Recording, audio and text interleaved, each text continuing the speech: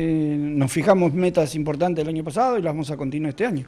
Eh, nosotros que venimos, sobre todo agradecerles eh, este trabajo voluntario, en silencio, en, el anonimato que hacen la Cruz Roja, la verdad que lo que han hecho en la emergencia, estar al lado nuestro permanentemente, lo que representa la Cruz Roja a nivel mundo, nada, entonces me parece que necesitan del Estado en este momento duro, difícil, donde el funcionamiento de todos estos lugares eh, necesitan financiamiento para que sigan estando abiertos. Así que eh, lo vemos así como Estado, lo vemos así como gestión y bueno, hoy vamos a darle esta colaboración y seguramente en el día a día vamos a seguir estando en las necesidades que le vayan surgiendo. ¿no? Esta ayuda solidaria que nos está haciendo y bueno, la verdad que nos viene muy bien porque tenemos eh, proyectado un montón de actividades y este dinero nos va a venir muy bien para cubrir todas las necesidades que que podamos cubrir.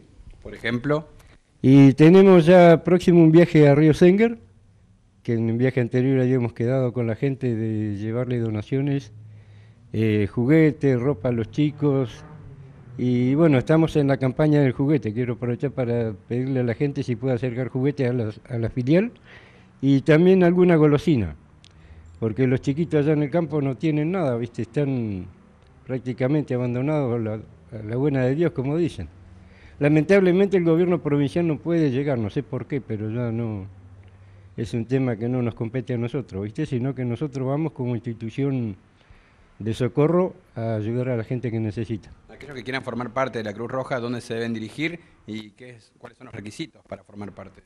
No, ser mayor de edad y nosotros estamos martes, eh, jueves y viernes de 18 a 21 horas el que tenga intención de ser voluntario se puede acercar y acá le tomamos los datos y llena una ficha.